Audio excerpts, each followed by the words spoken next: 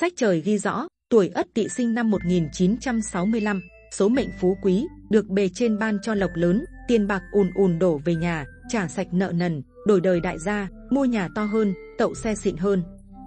Quý cô bác tuổi Ất Tỵ thân mến, trong cuộc sống này, có những người luôn được sống trong nhung lụa và giàu có, và họ sẽ không bao giờ cảm nhận được sự may mắn hiếm hoi mà người khác mong mỏi từng giây phút của cuộc đời. Họ cũng không thể biết được tâm trạng của người khác khi có được một phần may mắn như mình. Trên thực tế, mỗi người sinh ra đều có vận mệnh của riêng mình, đặc biệt là các vị thần may mắn sẽ chiếu cố cho từng con giáp trong mỗi giai đoạn khác nhau. Có đôi khi sự may mắn này lại là duy nhất giúp họ đổi đời một cách không ngờ. Trong tử vi học có nói bước sang 2 tháng 11 và 12 và âm lịch, tuổi Ất Tỵ sinh năm 1965 sẽ là một trong những con giáp may mắn nhất nhờ sự cố gắng, nỗ lực của mình, cộng thêm may mắn trời ban mà Ất Tỵ sẽ giàu lên nhanh chóng, tiền bạc ùn ùn kéo về, ăn Tết to nhất làng. Và để biết được trong hai tháng tới, Ất Tỵ sẽ có những may mắn nào và làm sao để nắm bắt những may mắn ấy, thì xin mời quý vị hãy cùng Minh Đường Tử Vi đi tìm hiểu chi tiết video ngày hôm nay quý vị nhé. Quý vị thân mến, đi qua nhiều hạnh phúc, nếm không ít khổ đau, chợt thấy mình bình thản, kệ mưa nắng trên đầu, người đi hay ở lại, cũng đều bởi chữ duyên. Điều này nghe có vẻ sáo rỗng nhưng cuộc đời là một chuyến hành trình vô cùng khó khăn. Từ lúc sinh ra cho tới lúc chúng ta rời xa thế giới này, bất cứ điều gì cũng có thể xảy ra, như nhiều người vẫn thường nói, đó chính là cuộc đời. Tuổi trẻ của Ất Tỵ là những năm tháng vất vả, cực nhọc, mọi việc Ất Tỵ trải qua đều phải đối mặt với các thử thách, cả bên trong lẫn bên ngoài. Tuy nhiên những khó khăn thử thách ấy đã tạo nên một Ất Tỵ kiên gan, bền chí, một Ất Tỵ đầy bản lĩnh, đứng trước bão rông của cuộc đời thì Ất Tỵ vẫn ung dung tự tại. Người xưa có công ngũ thập nhi chi thiên mệnh, lục thập nhi nhĩ thuật, thất thập nhi tùng tâm sở dục, bất du củ. Ý nói rằng 50 tuổi đã biết mệnh trời, 60 tuổi thì không còn chướng tai gai mắt, 70 tuổi sẽ đạt đến tình trạng hoàn hảo về cách xử thế ở đời. Người tuổi Ất Tỵ qua 60 tuổi, tâm như biển rộng, mọi việc đến với Ất Tỵ cũng nhẹ tựa lông hồng. Cuộc sống đích thực bắt đầu từ đây, ở con người Ất Tỵ đó là một sự thông tỏ mọi chuyện, từng bước qua núi cao biển rộng, từng gặp nơi giang hồ hiểm hóc, thật thật giả giả, tốt và xấu, ngọt bùi đắng cay, thiện và ác, Ất Tỵ đều kinh qua, đều đã từng nếm trải. Dẫu thành công hay thất bại, dẫu sướng vui hay đau khổ, tất cả đều in hẳn trong tim bao trải nghiệm, nên yêu gì, ghét gì, nên làm gì, không làm gì, ất tỵ đều đã có đáp án cho riêng mình. Đời có lúc thịnh, cũng có lắm khi suy, cái ý là vòng tuần hoàn tự nhiên của đất trời, của vận thế, tương tự như bốn mùa xuân hạ thu đông vậy, tại sao lại nghĩ mình giỏi khi được thuận may, xong lại mở miệng than thân khi khó khăn vất vả, cái ta cần làm là duy trì bản tâm, vững vàng bản tính, để khi hanh thông không kiêu ngạo mà chủ quan, lúc chắc trở không chán nản rồi tiêu cực. Ở cái thời khắc khó khăn càng nhiều, vất vả càng lắm, cũng tức là sắp đến thời điểm chuyển mệnh sang trang. Nếu trái tim của ất tỵ tuổi đôi mươi như con suối, trái tim tuổi 30 như dòng sông, trái tim tuổi 40 như thác gành cuồn cuộn chảy, thì trái tim người tuổi ất tỵ sau 60 tuổi lại như biển rộng mênh mang, tin chủ vừa điềm tĩnh, khoan thai với người khác, lại vừa sâu lắng tê từ chính trong bản thân mình. Trong cuộc sống này đôi khi ất tỵ vẫn gặp chuyện không như ý, nhưng ất tỵ chỉ mỉm cười và chẳng bận tâm. Nếu khi xưa nông nổi và nhẹ dạ, thì chỉ khi qua tuổi 60 mới thực sự hiểu ra ý nghĩa của sinh mệnh là gì, đơn giản là bởi tâm của ất tỵ đã bao la hơn. Trong cuộc đời của mình ất tỵ đã từng tranh giành, đã từng nỗ lực, đã từng đắc ý, cũng từng thất vọng, nhưng những gì cần có đều đã có, những gì không có cũng chẳng tơ tưởng hão huyền. Mọi thứ đều quá quen thuộc, hào khí năm xưa nay lại trở thành sự khoan dung, sự gai góc khi xưa nay đã trở nên trơn nhẵn, sự tranh đoạt khi xưa nay lại trở thành giây phút thành thơi. Khi nhắc đến tuổi tỵ, đây là con giáp khôn ngoan nhất, thông thái nhất, hấp dẫn và cũng bí ẩn nhất trong 12 con giáp. Vì thế người tuổi ất tỵ có khả năng trở thành nhà chính trị, triết học, thần học hoặc một kỹ sư luyện kim, cũng có thể trở thành một nhà tư tưởng sâu sắc. Họ là người khó hiểu nhất trong 12 con giáp, bởi là người có trí tuệ đặc biệt thiên bẩm, nên họ còn có thể trở thành một người mang chủ nghĩa thần bí, những người tuổi ất tỵ có văn hóa, thương thích đọc sách, nghe nhạc, thích ăn ngon, thích xem hài kịch, họ bị tất cả những thứ có giá trị thẩm mỹ thu hút. Trai tài gái sắc thường là người tuổi tỵ, vì thế nếu bạn là người tuổi tỵ, nhiều khả năng bạn sẽ có một vận mệnh tốt. Người tuổi ất tỵ thường quyết đoán và hành sự theo ý mình, có hòa đồng với số đông, họ hoặc là một người có niềm tin tôn giáo sâu sắc, hoặc là người theo chủ nghĩa hưởng lạc. Họ chấp nhận tin theo niềm tin của họ, chứ họ không bao giờ lắng nghe lời khuyên của người khác. Nhưng trong nhiều trường hợp, họ luôn đúng trong suy nghĩ. Người tuổi ất tỵ mệnh hỏa tính cách trầm ổn, song cũng rất nhạy bén, linh hoạt, có thể thích nghi với nhiều hoàn cảnh khác nhau, có khả năng phát huy bản thân ở mức cao nhất. Khuyết điểm của người này là thiếu nguyên tắc, dễ chịu ảnh hưởng bởi người khác, người này tâm niệm mọi chuyện tùy duyên. Cũng chính vì lý do này mà ất tỵ thường có cái nhìn khá bi quan và thụ động, thích ổn định an nhàn, theo đuổi sự sung sướng hạnh phúc, hiếm khi tạo áp lực cho bản thân, dễ dựa dẫm vào người khác. Tuy nhiên, nếu có người bên cạnh quan sát, đốc thúc, không ngừng cổ vũ, tạo niềm tin, thì ất tỵ sẽ có thêm động lực và thu được thành quả khá tốt đẹp. Đặc biệt ất tỵ thuộc mệnh hỏa là người có bản lĩnh, có đủ tự tin để đối phó với trở ngại. Đặc biệt là những chuyện xui rủi xảy tới bất ngờ, họ nhanh chóng chấn tĩnh bản thân và tập trung vào hóa giải nguy cơ. Bạn bè, đồng nghiệp, người cùng hợp tác là những trợ thủ đắc lực cho người này. Họ có phẩm cách cao sang, thường được mọi người quý mến và đánh giá cao. Người này thích sự nồng nhiệt, theo đuổi tình yêu sôi nổi và đầy kích thích. Tuy nhiên tính cách trầm lắng khiến họ không biết cách bày tỏ tình cảm, nên khó tìm được người tri âm tri kỷ. Sự nghiệp thăng tiến không ngừng, nhờ tinh thần trách nhiệm cao, năng lực làm việc tốt, trí nhớ tốt, sự nhạy bén khiến công việc kinh doanh của họ khá phát đạt, lợi nhuận thu về không ít. Đây cũng là mẫu người thích hợp để trở thành chính trị gia hoặc làm các công tác về tư tưởng. Vận thế cuộc đời nhìn chung khá tốt, dù tuổi trẻ gặp nhiều khó khăn, nhưng thường được quý nhân nâng đỡ. Mặt khác ất tỵ rất chăm chỉ làm ăn, cộng thêm bản thân là người khéo léo, tinh tế, có khả năng ứng biến trong mọi công việc, nên thường có nguồn thu nhập ổn định, kinh doanh thuận lợi. Người tuổi ất tỵ cũng là người luôn lo xa và sống có trách nhiệm với gia đình. Khi người thân gặp khó khăn, con giáp này sẽ đứng ra giúp đỡ hết lòng. Cũng nhờ vậy, tuổi ất tỵ luôn được mọi người yêu mến và kính trọng. Xem tử vi chọn đời tuổi ất tỵ đã gặp phải rất nhiều khó khăn trong sự nghiệp, tài lộc lẫn gia đạo, đúng là khổ tận cam lai. Thế nhưng chỉ cần bạn kiên trì, bền bỉ, nỗ lực đến cùng, thì cuối cùng trái ngọt cũng hái về tay, thành quả đạt được sẽ xứng đáng với công sức mà bạn bỏ ra. Bởi từ trung vận trở đi, con giáp này sẽ gặp nhiều điều may mắn và tốt đẹp, đặc biệt từ sau 40 tuổi sẽ vô cùng hanh thông thuận lợi. Con giáp này làm gì cũng có quý nhân dẫn đường chỉ lối, không phải lo lắng thiếu tiền thiếu bạc nữa, vì thân tài gõ cửa, của cải tự tìm tới nhà, gia đạo thì sung túc. Đặc biệt, tử vi năm 2023 đã chỉ ra rằng tuổi ất tỵ sẽ là một trong những con giáp được đền đáp xứng đáng nhất với những gì họ đã bỏ ra trong những năm qua. Để bắt đầu gặt hái thành công trong năm nay, với việc được hai tài tinh là thiên tài và thực thần chiếu mệnh, bản mệnh có nhiều lộc lá thu về, kinh doanh thuận lợi, buôn may bán đắt, các hoạt động cầu tài diễn ra trong năm khá thuận lợi, khởi sự tốt đẹp đúng như mong muốn. Người kinh doanh buôn bán được dự báo sẽ có nhiều vượng khí, trong khi đó người làm công việc cố định có thể hài lòng với mức thu nhập hiện tại, cộng thêm bổng lộc. Tuy nhiên, người tuổi ất tỵ không vì thế mà lơ là, chủ quan hay tham lam để tránh thiệt hại vì sự nóng vội của bản thân. Trời phú cho người tuổi ất tỵ là những người thông minh, sắc sảo, có trí tiến thủ và tham vọng lớn. Trong con người ất tỵ lúc nào cũng muốn thăng tiến thật xa, để đảm bảo cho bản thân và những người thân một cuộc sống đủ đầy, thoải mái. Đặc biệt, con giáp này sẽ chẳng bao giờ chịu thua kém bạn bè. Chính vì thế mà dù làm bất cứ việc gì, họ cũng sẽ luôn nỗ lực để bản thân có thể đạt được những thành tích tốt nhất. Có câu, thời thế tạo anh hùng, có thể nói cái mà những chú rắn sinh năm 1965 thiếu hiện nay, chính là một thời cơ thích hợp để bứt phá mạnh mẽ. Và điều mà họ mong chờ đã đến, khi có hai tháng cuối năm là tháng 11 và 12 âm lịch tới đây, sẽ là thời điểm ất tỵ phất lên như diều gặp gió, thêm sự trợ giúp từ quý nhân, giúp cho cuộc sống của bạn trở nên viên mãn. Chỉ cần tuổi ất tỵ luôn mạnh mẽ, vững vàng thì cho dù có khổ cực đến mấy đi chăng nữa, cũng sẽ giải quyết được tốt đẹp và suôn sẻ.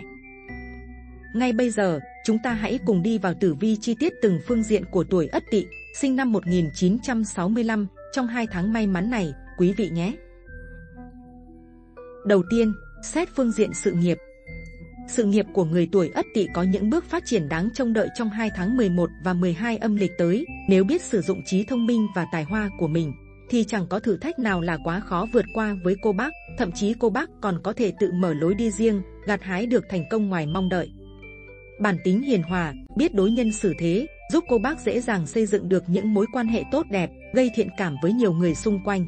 Vì thế, cô bác không chỉ nhận được nhiều sự giúp đỡ khi vướng phải khó khăn, mà còn được giới thiệu cho nhiều cơ hội đáng quý. Điều duy nhất mà con giáp này cần phải thay đổi chính là bản tính do dự thiếu quyết đoán của mình. Cô bác cần tin tưởng vào năng lực của bản thân hơn, để sẵn sàng nắm bắt thời cơ khi thời cơ xuất hiện. Đồng thời, nếu cảm thấy bối rối trước quá nhiều sự lựa chọn, cô bác cũng có thể trao đổi, chia sẻ với những người giàu kinh nghiệm hơn, bởi ai cũng sẵn sàng đưa cho cô bác những gợi ý hữu ích. Các tinh tử vi cho thấy, bản mệnh có cơ hội gặt hái thành công vào ngay thời gian tới này, nhiều yếu tố thúc đẩy khiến cô bác cảm thấy làm việc gì cũng thuận lợi. Thậm chí thách thức xuất hiện cũng là lúc cô bác nhận ra thế mạnh của mình là gì và khẳng định bản thân.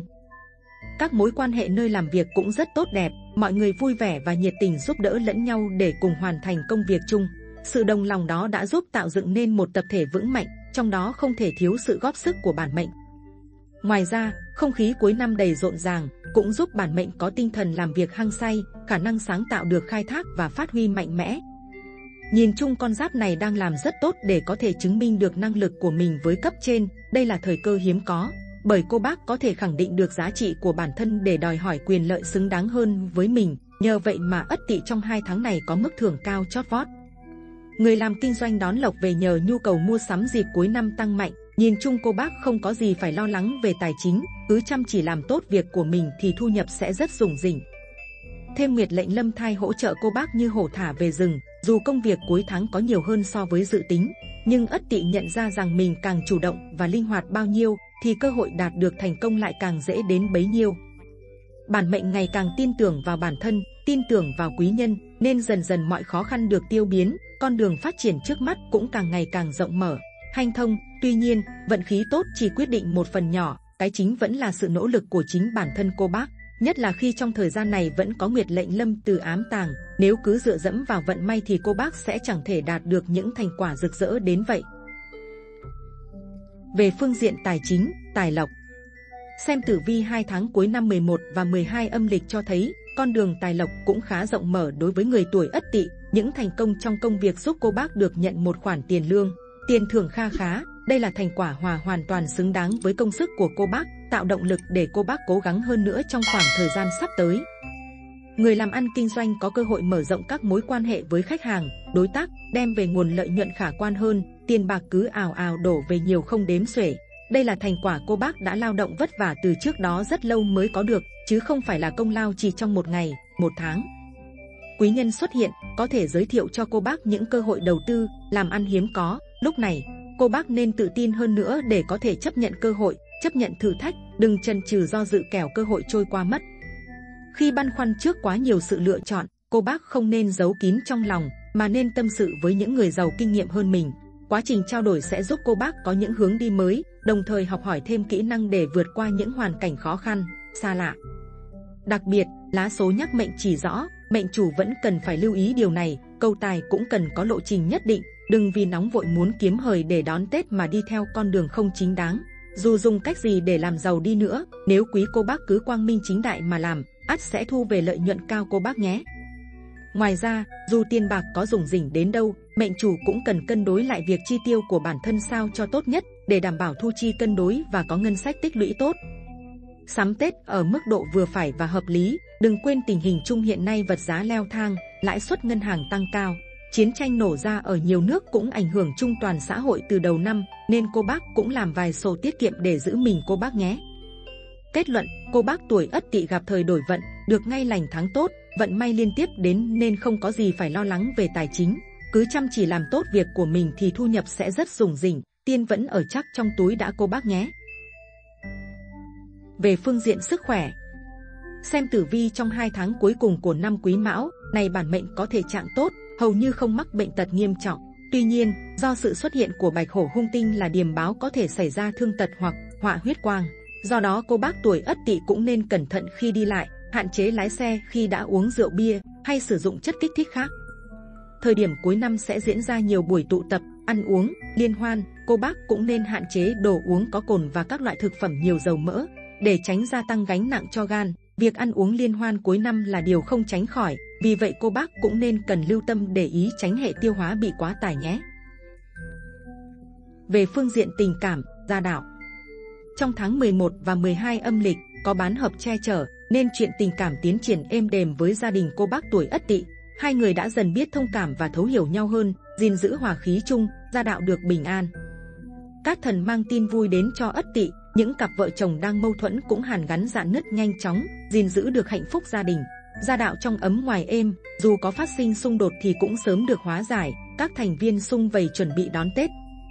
Đặc biệt, vào tháng 12 âm lịch, không khí đón Tết càng khiến mọi người xích lại gần nhau hơn, cùng nhau vun vén và trang hoàng nhà cửa chuẩn bị đón năm mới an lành. Nhờ Nguyệt lệnh lâm thai, một số cặp vợ chồng còn đón tin vui từ chuyện con cái, có sự nghiệp công ăn việc làm ổn định, càng khiến những ngày đón Tết thêm ý nghĩa và hạnh phúc. Gia đạo ấm cúng, tâm trạng của ai cũng hân hoan vui mừng, có đầy đủ người thân, vui vẻ hân hoan đón Tết. Đây chính là niềm hạnh phúc to lớn nhất với quý cô bác trong cái Tết Nguyên đán này. Tiếp theo sau đây là vận trình tử vi chi tiết từng tháng và cẩm nang vượng vận của tuổi Ất Tỵ sinh năm 1965. 1. Tử vi tuổi Ất Tỵ sinh năm 1965 trong tháng 11 âm lịch. Xem tử vi tháng 11 năm 2023 tuổi Ất Tỵ âm lịch, tháng này là một tháng khá tốt lành đối với người tuổi Tỵ, tinh thần lạc quan, tích cực, sẽ khiến bạn cảm thấy mọi vấn đề mình gặp phải không còn quá to tát nữa. Bạn sẽ sẵn sàng chinh phục những điều mình chưa từng biết đến, gặt hái những thành công nhất định cho mình. Nguyệt lệnh trường sinh cho thấy, bạn vốn là người thông minh, tài hoa, vì vậy bạn đừng ngại thể hiện điểm mạnh của mình và nhận những nhiệm vụ khó. Nếu hoàn thành xuất sắc nhiệm vụ được giao, bạn sẽ dễ dàng gây ấn tượng với mọi người xung quanh, thậm chí được cất nhắc lên những vị trí đầy triển vọng. Chuyện làm ăn diễn ra tương đối thuận lợi trong khoảng thời gian này, bạn có thể nhanh chóng mở rộng các mối quan hệ với khách hàng, đối tác của mình. Tuy nhiên, khi các cơ hội mở ra trước mắt, bạn cần quyết đoán và nhanh chóng nắm bắt hơn, đừng chần chừ, do dự. Cân nhắc quá kỹ càng kẻo thời cơ rơi vào tay người khác. Các tinh tử vi cho thấy, dù làm việc gì bạn cũng sẽ được hỗ trợ, vì thế hãy cứ yên tâm nhé. Đáng tiếc là chuyện tình cảm chưa có nhiều tiến triển tích cực, dường như bạn đang đặt công việc lên trên tình cảm, nên chẳng muốn dành thời gian cho những người còn xa lạ. Người đã lập gia đình thì thường xuyên đi sớm về khuya, không dành đủ sự quan tâm cho người thân thiết. Trước khi quan hệ giữa các thành viên trở nên lạnh nhạt thì bạn nên tìm cách cân bằng cuộc sống và sự nghiệp. Quý nhân, mão, sửu, tiểu nhân, thân, mùi, màu sắc cát tường, đỏ, trắng, con số may mắn 11, 94, 38. 2. Tử vi tuổi Ất Tỵ sinh năm 1965 trong tháng 12 âm lịch. Người tuổi Ất Tỵ trong tháng 12 năm 2023 âm lịch có nhiều khởi sắc đáng kể, đón nhiều niềm vui tốt lành và dễ gặt hái được thành công nhờ có tam hợp che chở. Những khó khăn và bế tắc trước đó cũng dần được khai thông, con giáp này được quý nhân ở bên trợ giúp nên không còn điều gì phải lo ngại như trước nữa. Thêm vào đó, sự quyết đoán không do dự sẽ giúp những chú rắn rất nhiều để có thể giải quyết những vấn đề còn tồn đọng. Không khí hân hoan đón Tết cũng giúp bản mệnh có tinh thần làm việc hăng say, khả năng sáng tạo được khai thác và phát huy mạnh mẽ. Về tài lộc, con giáp này cần chuẩn bị tinh thần để đón tài lộc đang chuẩn bị ùn ùn kéo về nhà. Tài chính của bạn trong tháng chạp khá lý tưởng và có nguồn thu từ nhiều nguồn, có thể từ công việc chính, cũng có thể từ nghề tay trái. Nói chung không cần lo lắng về chuyện tiền bạc, có thể thoải mái sắm sửa cho Tết. Đường tình duyên của tuổi này cũng thuận lợi hơn trước, người độc thân có khả năng gặp gỡ và làm quen với người tâm đầu ý hợp, tình cảm phát triển nhanh chóng. Các cặp đôi vì bận rộn với công việc cuối năm nên ít có thời gian dành cho nhau, vợ chồng dễ nảy sinh mâu thuẫn lạt vặt, song mọi chuyện sẽ sớm được hóa giải, trả lại sự bình yên cho gia đình. Sức khỏe của tuổi Ất Tỵ tháng này nhìn chung ổn định, không có gì đáng lo ngại. Tuy nhiên bản mệnh vẫn nên để ý tới vấn đề ăn uống, đi lại, đừng để gần Tết rồi còn gặp sự cố hay thương tật. Trong tháng tiệc tùng, ăn uống liên miên nên cần kiểm soát để chức năng tiêu hóa tránh bị quá tải. Quý nhân, ngọ, hợi, tiểu nhân, dậu, thìn, màu sắc cát tường, tím, hồng, con số may mắn 23, 01, 55. Tiếp theo, chương trình là chuyên mục vật phẩm phong thủy giúp cho tuổi Ất Tỵ đón năm mới may mắn, bình an, phát tài phát lộc. 1. Tranh phong thủy cho người tuổi Ất Tỵ Tuổi Ất Tỵ trong ngũ hành thuộc mệnh Hỏa, vậy nên những bức tranh phong thủy thích hợp sẽ là tranh mệnh Thổ, Mộc, nó sẽ mang đến nhiều may mắn cho gia chủ nếu được treo trong phòng khách. Bên cạnh đó, người tuổi Ất Tỵ cũng cần phải tránh tranh mang mệnh Kim, Thủy vì tính chất xung khắc trong ngũ hành. Treo tranh đại bàng tung cánh hay rồng bay là bức tranh hợp với tuổi Tỵ, hình tượng của những con vật này sẽ tiếp thêm sức mạnh, giúp cát tường như ý cho gia chủ sở hữu và hai linh vật này từ xưa được xem là những con vật hiệu quả trong việc chấn quỷ trừ tà. Nơi thích hợp để treo tranh đại bàng là phòng khách, kỵ treo ở phòng thờ, phòng ngủ. Ngoài ra bạn cũng có thể treo tranh hoa mẫu đơn cho người tuổi tỵ, mệnh hỏa. Tranh hoa mẫu đơn mang ý nghĩa giàu sang, thịnh vượng và hôn nhân hạnh phúc. Hoặc những bức tranh tứ quý tùng hạc diên niên luôn là sự chọn lựa tuyệt vời cho chủ nhân với những họa tiết sống động, cây rừng chim hạc thể hiện sự giữ phúc vĩnh hằng, tuổi thọ dồi dào cho gia chủ. 2. Thỏi vàng kim nguyên bảo Thỏi vàng là vật phẩm phong thủy tốt cho tài lộc của tuổi Ất Tỵ. Đây là vật phẩm thu hút tài lộc, giúp việc kinh doanh làm ăn thêm phát đạt. Tuy nhiên, vật phẩm này khi dùng để thu hút tài lộc, nên tìm được tài vị của căn nhà mà đặt ở đó thì sẽ có tác dụng tốt nhất. Bạn cũng có thể căn cứ theo tài vị để tìm vị trí trưng thỏi vàng kim nguyên bảo cho thích hợp nhất, thu hút được nhiều tài khí nhất.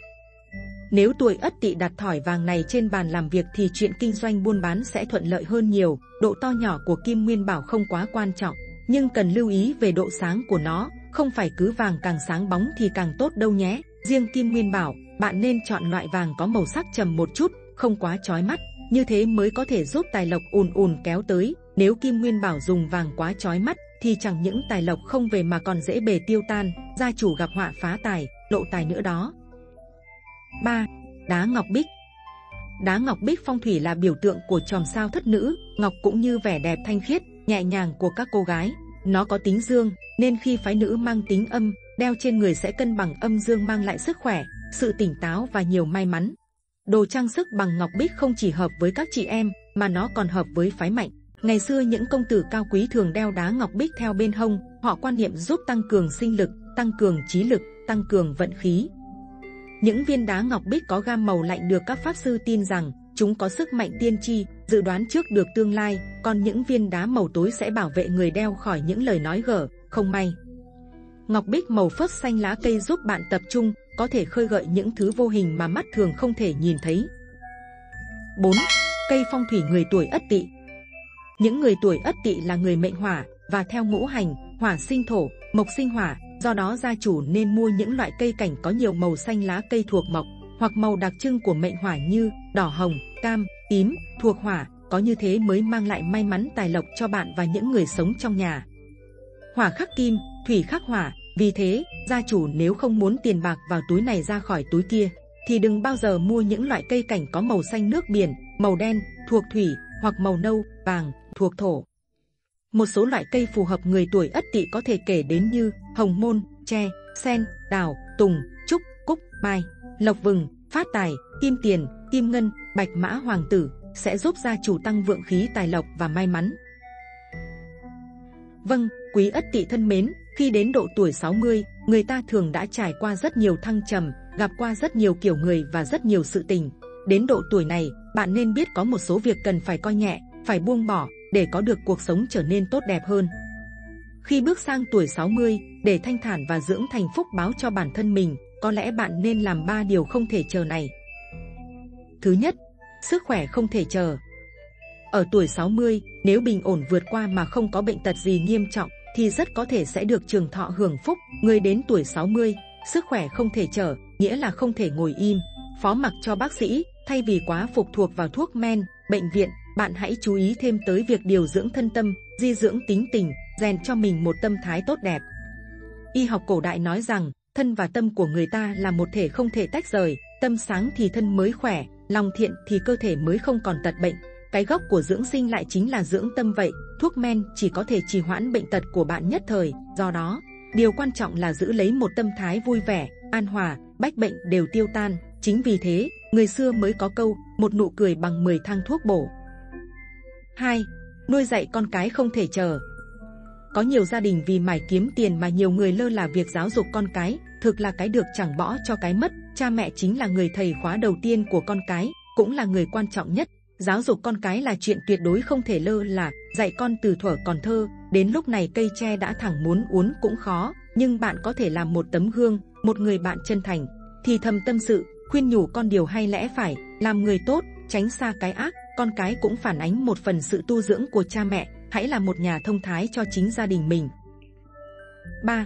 Hiếu thuận với cha mẹ không thể chờ. Sang tuổi 60, cha mẹ chúng ta có lẽ đều đã già cả, chỉ mong cha mẹ được sống vui vầy cùng con cháu, không tật bệnh là ta đã yên tâm một phần. Các cụ bôn ba, vất vả cả đời người, giờ đã đến lúc được nghỉ ngơi hưởng phúc, dù công việc có bận rộn, dẫu đường xá có xa xôi, bạn nhất định nên về thăm nhà nhiều nhất có thể, bố mẹ đã già, chính là không thể chờ đợi lòng hiếu thuận của con cái mãi được. Trăm năm qua đi như ánh chớp, một sớm mai biết cha mẹ đã rời bỏ mình mà đi, bạn có ân hận chừng nào cũng chẳng thể bù đắp lại. Hãy hiếu thuận với cha mẹ, yêu thương che chở họ, như mấy chục năm trước họ đã từng chở che ta, đó chính là một loại mỹ đức, một loại hạnh phúc, cũng là một loại hồi báo, tuần hoàn của tình yêu thương, chẳng phải đó là việc rất đáng nên làm hay sao? Quý vị tuổi Ất Tỵ thân mến, nếu cuộc sống bắt ta phải lựa chọn thì bạn đừng đắn đo, suy nghĩ khi chọn mình trở thành người lương thiện. Sống lương thiện đó là nguyên tắc sống mà bạn cần phải có, sống chan hòa với tất cả mọi người, lương thiện nhưng cũng phải mạnh mẽ, biết bảo vệ bản thân và giành lấy cơ hội thành công. Sống thiện lương chúng ta không sợ bị thiệt thòi, mỗi việc làm của bạn hôm nay lại trở thành nguyên nhân để quyết định tương lai bạn ngày mai. Kết quả có thể gặt hái đắng cay hay ngọt ngào, tất cả tùy thuộc vào suy nghĩ của bạn ngay tại thời khắc này, đừng quá lo lắng. Đời chờ vì những điều bạn chưa có được mà bỏ quên hiện tại đáng trân quý, trân trọng những gì mình đang có và đừng đòi hỏi những thứ vượt quá khả năng mình. Cách bạn sống với người khác tốt hay xấu hiện tại đều ảnh hưởng đến cuộc sống của bạn mai sau. Vì vậy, chúng ta hãy biết đặt mình vào vị trí của người khác để cảm thông. Điều đó còn thể hiện sự tôn trọng, tử tế của bạn với mọi người. Sự tử tế của bạn rồi cũng sẽ được đền đáp xứng đáng. Bạn đối xử tốt với người khác cũng chính là đối xử tử tế với bản thân. Có đôi lúc chính sự tử tế của bạn sẽ cứu nguy bạn lúc khó khăn. Sống chan hòa với mọi người bạn sẽ có được sự bình yên trong tâm hồn. Hãy cứ sống tốt mỗi ngày, kiểm soát tâm trạng, chăm sóc bản thân. Cuộc đời này là của bạn, không ai có thể giúp bạn. Tất cả đều do bạn quyết định. Buông bỏ những điều không vui trong quá khứ để tâm trí bạn sẽ trở nên trong sáng hơn. Bạn có thể giữ vững lòng lương thiện, nhưng phải có nguyên tắc, đừng để vượt quá sức chịu đựng của bản thân. Đừng nên nghĩ rằng sống lương thiện dễ bị người khác bắt nạt và chịu thiệt thòi. Đổi lại bạn sẽ càng được nhiều người yêu quý hơn. Sống lương thiện bạn có thể tạo nên một cuộc sống hạnh phúc của riêng mình. Sống thiện lương chính là nền tảng cốt lõi để làm người. Hãy luôn là người có tấm lòng nhân hậu, khoan dung khiến người khác cảm kích, để phục. Sống thiện có bao gồm việc làm từ thiện, nhưng làm từ thiện chưa chắc đã là sống thiện. Người đi từ thiện không xuất phát từ việc đồng cảm, không xuất phát từ cái tâm mong chung tay giúp đỡ những hoàn cảnh khó khăn, mà chỉ chăm chăm mục đích kiếm thêm phúc phần về cho bản thân.